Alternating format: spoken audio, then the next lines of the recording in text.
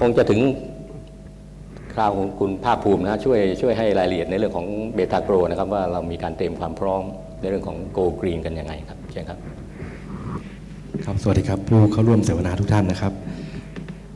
วันนี้ก็ผมขอนำเสนอในมุมที่ค่อนข้างแคบนิดหนึ่งก็คือในมุมของอุตสาหกรรมหนึ่งก็คืออุตสาหกรรมปศุสัตว์อุตสาหกรรมอาหารครับเริ่มต้นผมขออนุญาตพูดถึง supply chain ก่อนนะฮะว่า supply chain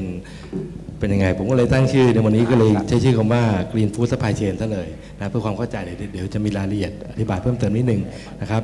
เริ่มต้นก็คือนะฮะในในคำว่า Green Food Supply Chain ตรงนี้เนี่ยผมขอตัดตัดมาเฉพาะในส่วนในส่วนที่ทางทางทางบริษัท ครอบคลุมได้นะเพราะเพราะว่าหลังจากขายตลาดแล้วก็จะเป็นเรื่องของ retail รายย่อยไปถึงผู้บริโภค ตัวนั้นในแง่ของกรีเราคงจะเข้าไปควบคุมก็ไม่ได้ แต่ในกระบวนการผลิตที่เรารับผิดชอบอยู่ก็เราควบคุมได้นะครับ เริ่มต้นของต้นน้ำเลยนะฮะขออนุญาตใช้ต้นน้ำกลางน้ำบ้างนะฮะก็เริ่มต้นที่อุตสาหที่เริ่มต้นที่อาหารอาหารสัตว์ก่อนนะครับ เราก็จะผลิตอาหารสัตว์ เป็นตัวต้นน้ำเลยนะฮะ พออาหารสัตว์ปุ๊บอาหารสัตว์ก็ส่งมาที่ตรงฟาร์มพ่อแม่พันธุ์ไม่ว่าจะเป็นสุกรหรือเป็นเป็นไก่ก็ตามต้องมีต้องเราต้องมีพ่อแม่พันธุ์นะครับ และในพ่อแม่พันธุ์เองสมมติถ้าเป็นถ้าเป็นไก่นะก็จะมีโรงฟักนะครับขอโทษครับนะฮะก็จะมีขออนุญาตชี้ยางเนี่ยโทษทีฮะก็คือก็จะเป็นโรงฟักก็คือพูดง่ายว่าพอพ่อแม่พันธุ์ไก่ออกมาก็จะเป็นไข่แล้วก็ฟักออกมานะครับ แล้วก็ต่อด้วยพอเป็นพอเป็นพอเป็นไก่ก็ส่งไปเลี้ยงในฟาร์มเลี้ยงนะฮะซึ่งจะเป็นฟาร์มของบริษัทเอง หรือเป็นฟาร์มของเกษตรกรที่อยู่ในโครงการก็อีกส่วนหนึ่ง ถ้าเป็นสุกรเป็นลูกสุกรก็เช่นเดียวกันนะพอเป็นลูกสุกร พอหย่านมปุ๊บเราก็ส่งเข้าสู่โครงการ หรือโครงการหรือไม่ก็เราก็จะเลี้ยงเองในบางส่วนนี่ก็ใช่ระบบเซอร์คูล่าแบบนี้ครับ แล้วพอพอหลังจากฟาร์มนะพอเลี้ยงโตเต็มที่เช่นอย่างไก่เนี่ยฮะไก่เราก็เลี้ยงประมาณสัก 42 วันโดยประมาณ หรือประมาณสัก 6 สัปดาห์นะครับเลี้ยง6สัปดาห์แล้วเราก็จะส่งเข้าโรงงานชำแหละ ถ้าเป็นหมูนะฮะเป็นสุกรนะก็เลี้ยงประมาณสัก 5 เดือนนะแล้วก็ส่งเข้าสู่โรงงานชำแหละ แปรรูปเป็นเป็นเนื้อสัตว์นะฮะถ้าเกิดเป็นเนื้อสดก็ขายสู่ตลาดเลย หรือบางส่วนเราก็ส่งเข้าสู่อุตสาหกรรมแปรรูปนะฮะ แปรรูปก็เป็นแปรรูปไก่แปรรูปสุกร ซึ่งเราก็มีลงทั้งสองทั้งสองประเภท ก็คือมีทั้งโรงงานแปรรูปเนื้อไก่ ก็เป็นไก่ทอดไก่นึ่ง ไก่อบอะไรก็แล้วแต่และไก่เสียบไม้ย่างนะฮะในส่วนของสุกรเราก็จะมีโรงงานที่เราหุ้นส่วนกับอายิโนะโมะโต๊ะนะก็ผลิตเนื้อหมูทงคัตสึเนื้อหมูชุบแป้งทอดเนี่ยนะฮะแล้วก็มีโรงงานไส้กรอกด้วยนะโรงงานไส้กรอกอยู่สักประมาณตอนนี้น่าจะสี่โรงงานนะครับ แล้วสุดท้ายก็สู่ตลาดนี่คือนี่คือนี่คือโครงสร้างของ ของ food supply chain นะฮะคราวนี้เป็น green อย่างไรนะฮะเป็น green อย่างไร ผมก็ยกตัวอย่าง green ให้ง่ายๆซึ่งจริงมีมากกว่านี้นะผมมาพูดใน concept ที่ที่เข้าใจง่ายขึ้นนะฮะในกระบวนการคำว่า green supply chain เนี่ยนะฮะ green food supply chain แล้วกันให้มันกระชับนิดหนึ่งนะฮะ green food supply chain ก็คือ ก็คือว่าคำว่า Green Food Supply Chain ก็คือการเป็นการทำ supply chain ที่เป็นมิตรต่อสิ่งแวดล้อม นะมิตรสิ่งแวดล้อมคือตลอด supply chain ของเราเนี่ยต้องเป็นมิตรสิ่งแวดล้อมงั้นในกระบวนการผลิตมันก็จะมี product หลักของแต่ละผลิตภัณฑ์ เราเรียกว่ากู๊ดก็ได้ฮะกู๊ดของคือเราอย่างเช่นเราผลิตในช่วงของผลิตพ่อพันธุ์ก็ผลิตลูกลูกสุกร ผลิตไข่ไข่ฟักนะฮะฟาร์มเลี้ยงก็ผลิตสุกรผลิตไก่ ถ้าเกิดเป็นชำแหละนึกเนื้อก็จะเป็นเป็นผลิตเนื้อสัตว์ออกมา คราวนี้ในกระบวนการนี้มันก็จะเกิด waste เกิดขึ้นในแต่ละห่วงโซ่ supply chain นะตัวอย่างเช่น waste ผมให้พูดถึง waste ตัวแรกก่อนก็คือ waste ที่โรงงานอาหารสัตว์เนี่ยก็จะมีฝุ่นเกิดขึ้น การผลิตมันจะเพราะว่าโรงงานอาหารสัตว์เราใช้พวกเราใช้เราใช้กากถั่วใช้กากถั่วใช้ข้าวโพดจะมีการบดอะไรต่างๆ บางครั้งในการอ่านเม็ดต่างๆ เกิดฝุ่น วิธีการในการจัดการของเราก็คือ เราก็จะเอาฝุ่นไปรีโปรเซสเราก็เอาฝุ่นทั้งหมดที่เกิดขึ้นเนี่ยเราพยายามจะเก็บฝุ่นทั้งหมดแล้วเข้าลงเข้าไปผลิตใหม่เพื่อไม่ให้เกิดเป็นสู่สิ่งแวดล้อมภายนอกนะฮะในโรงงานพ่อพันธุ์แม่พันธุ์เนี่ยเราก็จะมีเวสก็คือเป็นเปลือกไข่นะฮะ จากไข่จากการฟักไก่เนี่ยจากการลูกฟักลูกไก่เนี่ยก็จะมีเปลือกไข่เกิดขึ้น และในการคลอดลูกสุกรก็จะมีลกหมูงั้นวิธีการคิดอย่างที่เมื่อกี้ท่านดรนัทนัทวรพลได้พูดไปบ้างแล้วนะฮะก็คือว่าในการคิดกรีนเนี่ยเราคงเราคงไม่ได้คิด ถ้าเกิดถ้าเราไม่ถ้าเราไม่ทำอะไรกับมัน เราก็ต้องเอาเปลือกไข่ไปกำจัด เอาโรคหมูไปกำจัดก็เสียต้นทุนไป เราต้องมาคิดว่าทำอย่างไรถึงจะทำให้สร้างมูลค่าเพิ่มให้กับให้กับให้กับบริษัทได้และเป็นกรีนด้วยงั้นเราก็จะเอาเปลือกไข่เนี่ยมาสกัดเป็นไบโอดีเซลซึ่งสึกจะน่าผมได้สึกว่าจะร่วมกับนาโนเทคนะครับแล้วเอารกหมูเนี่ยโรกหมูเนี่ยก็เคยเคยเห็นผลิตภัณฑ์โรกแกะไหมฮะโรกแกะเขาทำได้โรกหมูก็ต้องทำได้นะก็เราก็ต้องมองสู่ผลิตภัณฑ์เรื่องของเครื่องสำอางนะเครื่องสำอางต้องแปลรูปเครื่องสำอางในบางส่วน ซึ่งก็อยู่ในช่วงของก็เดี๋ยวเดี๋ยว ก็ผมขอพูดแค่นี้ก่อนแล้วกันนะรายละเอียดเดี๋ยวค่อยว่าทีหลัง แล้วก็แล้วบางส่วนก็จะเป็นผลิตปุ๋ยชีวภาพบางส่วนด้วยนะครับ เช่นมูลสุกรหรืออะไรต่างนะครับในแง่ของของฟาร์มเลี้ยงเองนะเราก็จะมี by-product หรือ waste ที่เกิดขึ้นก็คือมูลสัตว์เนี่ยแหละฮะมูลสัตว์นั่นคือเป็นเป็นอย่างเช่นสุกรก็จะมีมูลสุกร ไก่ก็จะมีมูลไก่นะครับแล้วก็จะมีซากสัตว์เกิดขึ้นซากสัตว์คืออะไรซากสัตว์ก็คือว่าในกระบวนการเลี้ยงเองเนี่ยมันก็จะมี ก็พูดง่ายว่าการเลี้ยงรอด อย่างเช่นไก่เลี้ยงรอดมาสมมติสมมติ95ถึง98เปอร์เซ็นต์ก็พูดง่ายว่าร้อยตัวจะมีไก่ที่ที่เสียชีวิตระหว่างการเลี้ยงสัก 2 ตัวประมาณนั้น มันก็ต้องมีการมีการกำจัดซากนะฮะกำจัดซากแล้วก็มีวิธีการกำจัดซากโดยวิธีการต่างๆ เช่น มีบ่อกำจัดซากหรือบางทีก็มีเทคโนโลยีบางเทคโนโลยี โดยการที่เราก็เอาซากไก่เนี่ยไปหมัก เป็นกระบวนการเครื่องทำปุ๋ยเลย ก็ผลิตเอาซากไก่เข้าไป ผมไม่แน่ใจว่าหมักคู่กับฟางหรือเปล่าผมจำไม่ได้นะ แล้วก็จะกลายเป็นเป็นปุ๋ยออกมาภายในเวลาสักไซเคิลหนึ่งก็ประมาณสักหนึ่งสัปดาห์ แต่ถ้าเกิดผลิตทุกวันก็มีมีมีมีปุ๋ยมาออกทุกวันทุกวันทุกวันในการผลิตซึ่งมีใช้บางบางบางฟาร์มของเบทาโกรนะครับมีบางใช้บางบางฟาร์มเบทาโกรส่วนขี้หมูนะฮะตัวที่มูลสุกรนะฮะก็จะผลิตไบโอแก๊สไบโอแก๊สนะแล้วบางส่วนก็จะทำปุ๋ยชีวภาพ นะฮะแล้วก็ในขอที่บ้านขอขอที่บ้านนี้กรีนสไปเชียนี่เติมให้หมดนะฮะก็คือแล้วส่วนในเรื่องของของเนื้อสัตว์ ก็มีทั้งทั้งไก่และและและแล้วก็มีเนื้อสุกร มันก็จะมีเวสออกมาตัวอย่างเช่น ในโรงงานอุตสาหกรรมไก่ก็จะมีไขมันมากมายเลย ในกระบวนการทำแหลมมีไขมันที่เกิดขึ้นจากกระบวนการแล้วก็มีการลงในบ่อดักไขมันนะฮะซึ่งแล้วก็มีเศษเนื้ออะไรต่างๆที่เกิดขึ้นเล็กๆน้อยๆนะฮะซึ่งหลักๆบางทีเราก็ง่ายๆสุด เดิมเราก็คือลงบ่อปลา ก็ขายลงบ่อปลาดุกนะฮะไปเลี้ยงปลาดุกต่อ ซึ่งก็เป็นกรีนแบบหนึ่งแต่ว่าแต่ว่าค่อนข้างจะไม่ได้มูลค่าอะไรมากมายนะฮะแล้วก็วิธีการหลักๆที่เราทำตอนนี้ก็คืออย่างที่เมื่อกี้หลายที่ท่านวิมลได้พูดแล้วว่าแรงงานแรงงานค่อนข้างที่จะราคามีต้นทุนสูงขึ้นนะครับต้นทุนสูงขึ้น แล้วก็แรงงานก็ค่อนข้างหายากขึ้น วิธีการหนึ่งที่เราจะทำก็คือว่า เราก็จะต้องศึกษาวิธีกระบวนการว่าในกระบวนการเนี้ยทำอย่างไร ให้ใช้แรงงานน้อยลงนะฮะแรงงานน้อยลงด้วยการเช่นหา automation ที่จะเป็น semi-automation หรือเป็น automation pure ๆเลยที่มาใช้ทดแทนแรงงานคนบางส่วนนะครับ แล้วก็หาวิธีการสร้างมูลค่าเพิ่มของผลิตภัณฑ์ เพิ่มผลผลิตให้มี waste เกิดขึ้นน้อยนะฮะแล้วก็ที่สำคัญก็คือในแง่ของคนเองก็ตามพอคนลดน้อยลดน้อยลง เราอย่างที่คนหายากขึ้นอย่างที่บอกเมื่อบอกสักครู่คนหายากคือวิธีการที่เราทำก็คือ เราก็จะให้คนน้อยลง แต่เราจะทำให้เขามี quality of work life ดีขึ้น ด้วยการทำให้เขามีรายได้ ต่อคนเนี่ยเพิ่มขึ้นต่อวัน แต่ overhead cost ในภาพรวมเราจะต้องลดลง นั่นคือกระบวนการคิดของเรานะฮะที่เราจะต้องทำอยู่งั้นสิ่งที่ได้ก็คือลดของเสียเกิดขึ้นในกระบวนการ อีกอันหนึงก็คือไขมันในบ่อดักตะกอนที่ผมพูดค้างเอาไว้ ก็คือพอเป็นไขมันที่ในบ่อกักดักไอ้ดักตะกอนเนี่ยปุ๊บเนี่ยเราก็ไปหาวิธีการทำให้มันดักได้เยอะๆดักได้ปริมาณเยอะๆแล้วตักง่าย แล้วเราก็ตรงเนี้ยไปทำเป็น สกัดเป็นไบโอดีเซลนะซึ่งเครื่องต้นแบบตอนนี้ก็ก็อยู่ที่โรงงานนะครับ แล้วส่วนในโรงงานแปรรูปเนื้อก็เช่นเดียวกันนะเราก็เราก็มีวิธีการจัดการหลายๆอย่าง เช่น เรามีเศษแป้งเกิดขึ้นในกระบวนการหมักแป้ง มีเศษเนื้อมีน้ำมันนะน้ำมันแล้วอาจจะไปทำเป็นไบโอดีเซลเช่นเดียวกัน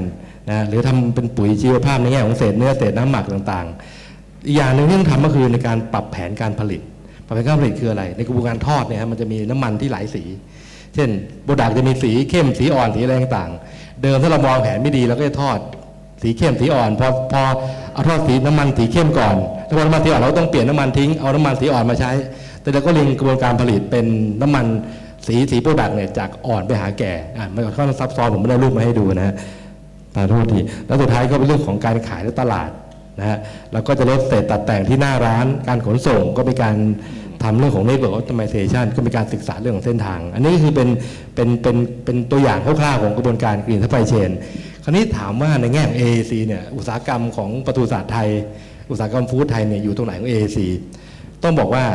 เราเป็นผู้นำไม่ไม่ใช่แค่ระดับ AAC เราเป็นผู้นำในระดับโลกอยู่แล้วนะซึ่งในธุรกิจไก่ส่งออกของเราเนี่ยพูดง่ายว่าเราอยู่ในระดับที่ที่ห้าหนึ่งในห้าของโลกผมขอได้อยู่ตัวอย่างนิดนึงนะฮะ นี่นะครับในปีข้อมูลในปี 2012 เนี่ยนะไทยส่งออกประมาณ5ห้าแสนห้าหมื่นห้าแสนห้าหมื่นตันนะในปี 2012 นี่ส่งเนื้อไก่ไก่ส่งออกนะฮะเราก็ผลิตเนื้อไก่อยู่ประมาณสักประมาณในปี 2011พอดีข้อมูลประมาณเนี้ครับประมาณ 1,779 นะฮะอันนี้พอดีเป็นหน่วยเป็นแสนก็ประมาณล้านกว่านะฮะอันนี้ในระดับโลกยังไงมาดูนะฮะในการผลิตของเราเนี่ยคือพูดง่ายว่า ในเมืองไทยส่งออกประมาณสัก 5 5 0 0 0 0 ตันนะต่อปีในปี 2012เบรโกก็แชร์มาสัก11%นะครับแล้วเรายังส่งหมูส่งออกนอกอีกนะฮะส่งหมูส่งหมูก็ประมาณตัวเลขก็มาสักหมื่นหกพันตันส่งไปงั้นก็คือพูดง่ายว่าในเวทีไม่ใช่แค่เวที AEC ในเมืองเวทีระดับโลกเนี่ยเราก็ถือว่าเราเป็นระดับโลก คราวนี้ต่อไปก็คือว่า ถามว่าในกระบวนการผลิตใน supply chain ของของของ food supply chain เนี่ยเราจะมีการแชร์ในระหว่างเราจะมีการเชื่อมโยงเครือข่ายตรงนี้กับประเทศเพื่อนบ้านในเอเชียได้ไหมนะฮะคำตอบก็คือผมก็นั่งคิดอยู่เหมือนกันจากคำถามที่ส่งมานะฮะก็คงจะไม่ง่าย ไม่ง่ายเนื่องจากอะไรนะฮะเพราะในห่วงโซ่อุปทานของเราเนี่ยในห่วงโซ่อุปทานเราเนี่ยเป็นกระบวนในค่อนข้างจะมีส่วนของการเลี้ยงสัตว์ แล้วก็แปรรูปสัตว์ นั้นในประเทศไทยเองการส่งสัตว์ข้ามจังหวัดเองก็ต้องให้บริษัทจังหวัดเซ็นรับรองแล้วนั้นการส่งสัตว์ข้ามประเทศเนี่ยผมยังมองไม่ออกว่าจะทำอย่างไรนั้นคงจะเป็นไปได้ยากนิดหนึ่งในมุมในมุมของเอซีอีกอย่างหนึงคือเรื่องของมาตรฐาน มาตรฐานคุณภาพนะฮะเพราะเมืองไทยผลิตพัฒนาอุตสาหกรรม อุตสาหกรรมเนื้อสัตว์แปรรูปเนี่ยนะฮะมาหลายสิบปีแล้วเราพัฒนาค่อนข้างไปไกล มีตัวอย่างให้ดูนิดหนึ่งที่ผมเตรียมมาก็คือเนี่ยฮะอันนี้คือ เราเรียกคอยเป็น global quality standard ก็คือเอา standard ทั้งหมดที่เราทำในอุตสาหกรรมในธุรกิจไก่ของเราเนี่ยนะก็คือ broiler supply chain เนี่ย broiler นี่คือไก่นะฮะไก่ในอุตสาหกรรมนะครับตั้งแต่ต้นน้ำก็คือ feed mill นะฮะโรงงานอาหารสัตว์ไปจนถึงการผลิตเนื้อสัตว์เนี่ยจะเห็นว่าเรามีเรามี list ของมาตรฐานค่อนข้างมากมาย ก็คือมีทั้ง ISO 9000 มีทั้ง GMP มีทั้ง HACCP นี่พื้นฐาน ถ้าเกิดระดับที่ advance ขึ้นมาหน่อยก็จะมีเรื่องของ ACP นะฮะมาตรฐานการเลี้ยงสัตว์ของยุโรปมี UFAS ก็คือมาตรฐานของโรงงานอุตสาหกรรม feed นะฮะมีเรื่องของการบริการเช่น IFS ก็คือ International International Food Standard ก็ใช้ในเยอรมันฝรั่งเศส BRC นะฮะก็ต้องมีด้วยก็คือเรื่องของ British Detail Retail Consortium อันนี้ก็เป็นเรื่องของเน้นที่ response เรื่องของการบริการที่เป็นมาตรฐานของประเทศอังกฤษ แล้วยังมี Tesco อีก Tesco Food Manufacturing Standard ก็ TFMS ก็คือตรงนี้ แล้วก็เบตาโกของ Standard เอง ก็พูดง่ายว่าตรงนี้ไม่ได้มีอะไรมาก แค่จะมาบอกว่าในมาตรฐานการผลิตกระบวนการผลิตเนื้อไก่เนี่ยค่อนข้างจะมี s t ต n d า r d มากมาย งั้นพูดง่ายว่าถ้าเกิดเทียบกับประเทศในเพื่อนบ้านใน AAC เนี่ยเราก็คงจะค่อนข้างอาจจะก้าวไปล้ำกับเขาค่อนข้างเยอะในมุมของธุรกิจ food นะฮะ คราวนี้ย้อนกลับมานิดหนึ่งในในแง่ของ food supply chain นะครับ ในมุมหนึ่งก็คือว่าในในตลอดในตลอด supply chain เนี่ยในในอนาคตที่จะเกิดขึ้นก็คือว่าหลังจากก่อน AAC กับหลัง AAC เนี่ยสิ่งที่ผมมองในมุมของโอกาสในการในการที่เราเข้าสู่เรื่องของอประชาคมเศรษฐกิจอาเซียนหรือ AEC เนี่ยก็จะในแง่ของในแง่ของการแชร์ supply chain หรือการเชื่อมโยงเนี่ยคงจะยาก แต่สิ่งที่อุตสาหกรรมไทยทำส่วนมากก็คือการลงทุนในต่างประเทศ เราก็จะมีอุตสาหกรรมไทยไปลงทุนเลี้ยงสัตว์ในในในต่างประเทศ เช่นเขมรลาว ในพม่าเองก็เริ่มมีนะฮะไปเลี้ยงในบริเวณประเทศประเทศเพื่อนบ้านเหล่านี้ เพราะว่าเราเชื่อว่าเรามีการมองว่าถ้าเกิดเกิด AEC เกิดขึ้นจริงเนี่ยคนในกลุ่มประเทศกลุ่มนี้ก็จะมีรายได้เพิ่มขึ้น แล้วก็เมื่อมีรายได้เพิ่มขึ้นก็จะบริโภคเนื้อสัตว์มากขึ้น ดังนั้นการเลี้ยงสัตว์ในประเทศนั้นๆ แล้วก็ขายสัตว์ในประเทศนั้นๆ แล้วก็แปลเป็นรูปเป็นรูปเนื้อน่าจะเป็นโอกาสที่ดีนะฮะส่วน หลังจาก AC แล้วที่เกิดอะไรขึ้น ก็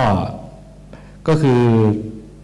ก็คือถ้าอย่างเมื่อมีการผลิตสัตว์ ในมุมมองเราคือถ้ามีการผลิตกันในหลายประเทศมากขึ้นเนี่ยสิ่งที่กระทบอย่างแรกที่จะที่จะเกิดขึ้นเลยก็คือว่ามีการต้นน้ำก็คืออาหารสัตว์ธุรกิจอาหารสัตว์เราก็ต้องใช้ raw material หลาย ๆ อย่างงั้นเมื่อมีการผลิตกันหลายประเทศก็ต้องไม่ใช่เลี้ยงสัตว์ก็ต้องมีอาหารสัตว์ถูกไหมฮะเมื่อมีเมื่อมีการมีอาหารสัตว์ปุ๊บ พูดง่ายว่ามันก็ต้องมีการแชร์ทรัพยากรกันหลายประเทศ งั้นต้นทุนอาหารสัตว์น่าจะสูงขึ้น คิดว่าน่าจะเป็นไปได้สูงขึ้นเพิ่มขึ้น และอย่างหนึ่งก็เรื่องของแรงงานที่ในต่างประเทศที่เขามีต้นทุนแรงงานที่ถูกกว่าเรา เราก็ต้องแก้ปัญหาไปทั้งสิ่งที่เราทำก็คือ เราก็ต้องศึกษาทั้งกระบวนการทั้งหมดเลยว่าเราเนี่ยเราเนี่ยทั้ง supply chain เราใช้คนค่อนข้างมาก ทั้งในแง่ของฟาร์มในแง่ของ ในแง่ของโรงแปรรูปต่างๆ ที่คนเยอะ เราก็อย่างที่ผมพูดไปบ้างแล้ว คือเราก็ต้องศึกษาเรื่องของเรื่องของ automation เข้ามาใช้เรื่องของการพัฒนา skill ของคน แล้วก็พัฒนาเรื่องของ motivate เรื่องของการทำงานของคนยกระดับทักษะและที่สำคัญก็คือเราต้องมี R&D พัฒนา product และ process เราให้ค่อนข้างจะล้ำพัฒนาไปเรื่อยๆ เพื่อจะหนีคู่ต่อสู้เพื่อเพิ่มขีดความสามารถในการแข่งขันของธุรกิจคราวนี้นิดหนึ่งครับพอดีที่เตรียมมาด้วยก็คือเรื่องของ biogas ในมุมมุมหนึ่งก็คือว่าในตลอด supply chain ของเราเนี่ยนะฮะในตลอด supply chain ของเราเนี่ยเรามีส่วนร่วมอย่างไรเกี่ยวข้อง green ในเรื่องของ green food supply chain บ้างหรือว่าในแง่ของ green supply chain บ้างนะฮะ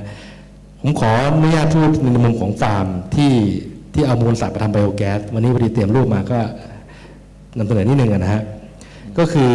นี่คือตัวอย่างของไบโอแก๊สนะฮะนี่คือเป็นเขาเรียกว่า cover lagoon เป็นไบโอแก๊สที่ ที่ต้นทุนไม่สูงมาก เราจะใช้ในบอลลูนในเครือข่ายฟาร์ม หรือว่าเป็นกิจกรจ้างเลี้ยงของเครือข่ายเบตาโกนเนี่ยเราจะให้ลูกให้เครือข่ายเหล่านี้มี bio biogas ใช้ในในฟาร์มของตัวเองนะฮะอันนี้ก็คือเครื่องจักรที่ใช้นะฮะก็คือเอา biogas มาทำอะไรมาปั่นไฟฟ้านะฮะก็คือนี่คือ complex ใหญ่ๆของฟาร์มฟาร์มขนาดเล็ก อันนี้คือฟาร์มจริงที่อยู่ในภาคอีสานนะครับภาคอีสานก็จะมีเครื่องปั่นไฟนะฮะ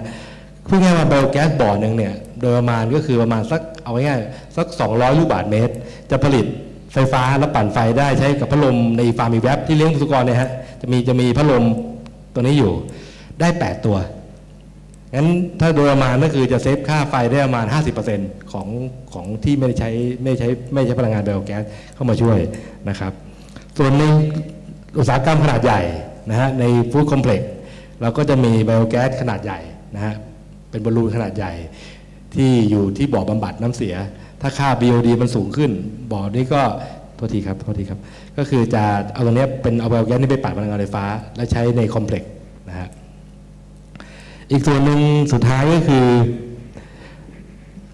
กลยุทธ์แล้วกันนะฮะใช้คำว่ากลยุทธ์แล้วกันผมหาโทษทีผมหาอ่าทีกลยุทธ์ในการทำ green supply chain ของธุรกิจเราทำอย่างไร นะครับหลักๆเราก็มี concept ไม่ง่ายก็คือว่าเราก็ใช้วิธีการใน concept ของของการทำ green หรือการทำเรื่องสิ่งแวดล้อมเนี่ยมันมี 3 R ด้วยกันถ้าเราทราบดูก็คือ reduce ลดการใช้ reuse ใช้ซ้ำข้อ 3 ก็คือ redesign นะฮะ redesign เอ้ยพวกรีดีทำพูดผิดรีไซเคิลครับรีไซเคิลมีสาม phase แต่ว่าเราในการในการทำงานอย่างที่นี้ดรท่านดรได้ได้พูดไว้ว่า การทำ green เนี่ยถ้าเราทำ green มุ่งเน้นที่ green มากๆเลยเนี่ยต้นทุนเราก็จะค่อนข้างสูง วิธีการอันดับแรกที่เราต้องทำก็คือ เราต้องลดเน้นที่ตัว reduce ก่อนนั่นคือลดการใช้ก่อนนะฮะก็คือลดการใช้คือวัสดุเนี่ยฮะทุกที่วัสดุเข้ามาร้อยตันเนี่ยนำเข้าโรงงานเนี่ยถ้าเกิดมันเกิดเวสขึ้น เช่น เกิดเวสติกูการผลิต 30 ตัน เวสไม่เกิดอะไร เวสมันต้องมีการใช้พลังงานไฟฟ้า มีการบำบัด มีการปล่อยน้ำเสีย มีการปล่อย CO2 มีการสร้างอากาศเสียด้วย งั้นวิธีการก็คือว่าเราก็จะลดนะฮะเราก็จะลดการสูญเสียตรงนี้ให้น้อยที่สุด นะฮะโดยการผลิตให้ยิวเพิ่มให้ผลผลิตสูงๆ เมื่อเราทำตรงนี้ปุ๊บก็ทำให้กระบวนการเกิดเวสเนี่ยมันน้อยลง น้อยลงก็ทำให้เกิดกรีนแบบหนึ่งงั้นแต่ว่าถ้าเกิดว่าในกรณีต่อไปถ้าเกิดเรามันเกิดเวสทำไง มันก็ต้องไป reuse ไป recycle ก็ถือเป็นกรีนอยู่เหมือนกัน แต่ว่ามันต้นทุนที่บริษัทต้องแบกรับเช่นเดียวกันสุดท้ายจริงๆ เรื่องของคาร์บอนฟูดปรินพอดีเราได้ร่วมกับ m t e c h ทางคาร์บอนฟูดปรินขึ้นมานะครับคาร์บอนฟูดปรินเนี่ย ในมุมของเราก็คือเราก็ทำมาเยอะเหมือนกัน เพราะอะไรทำไมต้องทำคาร์บอนฟูดปรินเพราะว่าเพราะว่าในอนาคตอันใกล้เนี่ยเราคิดว่าน่าจะมีตัว ISO นะฮะที่เกี่ยวข้องกับเรื่องของ CSR หรือว่าเรื่องของการความรับผิดชอบต่อสังคม ในเรื่องของเรื่องสิ่งแวดล้อมแน่นอนในไม่นานนี้นะงั้นแต่ละบริษัทก็เตรียมพร้อมของตัวเองว่าตัวเองจะทำอะไร แต่เราไม่รู้ว่าเกิดอะไรขึ้นในอนาคต เราก็พยายามจะทำทุกอย่างเท่าที่เกี่ยวข้องทั้งหมด แล้วก็คำว่าฟู้ดปรินก็ทำเป็นส่วนหนึ่งที่เราทำนะฮะ ตัวอย่างเช่นในเรื่องของอาหารสัตว์แล้วก็ทำ carbon footprint เช่น 1 กิโลเนี่ยนะเรา consume คาร์บอน 0.97 แต่ประเด็นของ carbon footprint ก็คือต้นทุนในการทำตัวหนึ่ง product ค่อนข้างสูง นั้นวิธีการทำ green อะไรก็แล้วแต่ที่เราต้องทำเนี่ยสิ่งแรกที่ต้องทำก็คือ ที่เราควรจะคิดก็คือว่าความสมดุลต่อสังหลักเศรษฐกิจเนี่ยเราควรเท่าไหร่แล้วก็เราสามารถเลือกได้ในกรณีของบางบางโจทย์หรือบางเรื่องที่ทำแล้วมันสามารถกลับมาลดต้นทุนให้กับคอสให้กับให้กับบริษัทได้ด้วย แล้วในแล้วก็สามารถทำให้สามารถพัฒนาทำให้ธุรกิจมันยั่งยืนได้ต่อไป ผมขอฝากแค่นี้ก่อนนะครับผมขอบคุณมากครับคุณภาคภูมิก็ครบเครื่องครบครันจริงครับรายทั้งรายละเอียดเรื่องของการเตรียมความพร้อมการทำกรีน supply chain นะครับผมขอถามที่เดียวการฆ่าที่การฆ่าสัตว์ที่เอ่อเขาใช้คำว่าที่แบบแบบอะไรแบบอ่อนโยนเรื่องการใช้คำอะไรแบบ อันว่าเวลแฟร์ ครับอ่าคือคือถือเป็นเป็นกรีนอย่างหนึงหรือเปล่าอืมไม่เกี่ยวกับกรีนไม่นะไม่เกี่ยวอันนี้เป็นไม่มาเกี่ตยรวฐาน standard ที่ใช่ไหมเมื่อกี้พูดใน ACP เนี่ยฮะครับครับเป็นมาตรฐานยุโรปก็คือเราต้องพูดง่ายๆว่าเราเลี้ยงสัตว์มาเนี่ยฮะก่อนที่เขาจะฆ่าแบบกรุณาเนื้อสัตว์เนี่ยทำนองนั้ก็นต้องให้เขาไม่ทรมาน ไม่ทรมานก็คือถ้าเกิดในในสุกรก็ใช้ไฟฟ้าช็อตไฟฟ้าให้สลบก่อนทำให้สลบให้สลบจริงๆนะฮะถ้าไม่สลบนี่คือไม่ผ่านมาตรฐานต้องสลบจริง ๆ แล้วก็มีสองแบบคือช็อตไฟฟ้ากับใช้วิธีการลมควันด้วย CO2 ครับครับครับ ตัวตัวไก่ก็จะใช้วิธีการก็คือช็อตไฟฟ้าอ่าอ่าแต่ว่าก็ต้องที่สำคัญก็คือต้องช็อตให้สลบนะฮะต้องสลบจริง ๆ ถึงจะไปอืมถึงจะชำแหละได้ครับอันนั้นก็เป็นเป็นถ้าเป็น requirement ของทางภาคตลาดเขาเป็นรีคว i เมนของตลาดด้วยฮะปริก็มาณคืออะไรทางทางยุโรปเขารีคว i เมนว่าต้องมี animal welfare เป็นการบังคับไปเลยในตัว แต่จริง ๆ เราก็เราก็อยากทำตรงนั้นอย่างมากด้วยแล้วคือโดยที่ผู้บริหารเราก็คือว่าอะไรก็แล้วแต่ในเรื่องของมาตรฐานตัวเนี้ยเรื่อง animal welfare ขอให้เป็นอันดับหนึ่งนะ ไม่อยากให้ตรงนี้เขาทรมานนะครับครับครับครับขอบคุณมากครับ